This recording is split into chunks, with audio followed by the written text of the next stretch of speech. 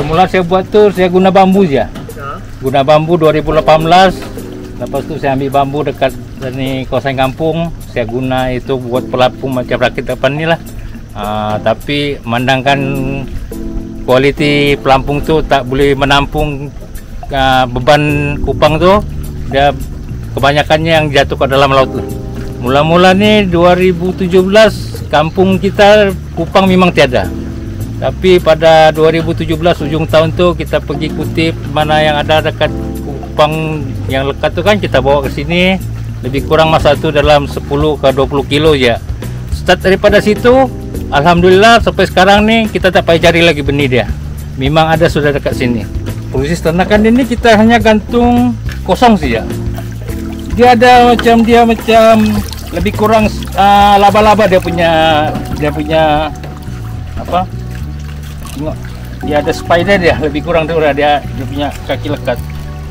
Dari segi makanan dia sendiri kita tak payah guna nak bagi makan apa semua. Dia memang sendiri semula jadi dia sendiri boleh cari makan dia. Kalau mula ternak ni kalau dia pada benih dia punya dia mula lekat tu lebih kurang dalam enam bulan dia boleh jual sudah.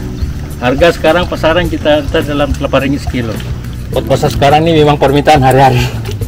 Satu hari boleh kilo dalam 100 kilo Alhamdulillah lah, saya pun berterima kasih pada PPK lah. Pada mulanya memang kita gunakan sendiri, memang banyak lagi lah secara daibnya lah. Macam guna dulu bambu, ya buluan untuk tapi Alhamdulillah sekarang daripada jabatan PPK, uh, PPK datang kita tengok, Alhamdulillah dia bagi bantuan kita. Pada situ dia nampaklah kita punya komitmen untuk membuat uh, ternakan.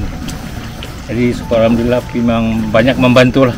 Kalau dulu kita tiada macam ni kan nak buat kerja nak bersihkan tu memang satu masalah juga. Sebab kita nak harus tu pun sampai dalam 100-200 kilo kan nak nak nak, nak tak satu tempat tu susah.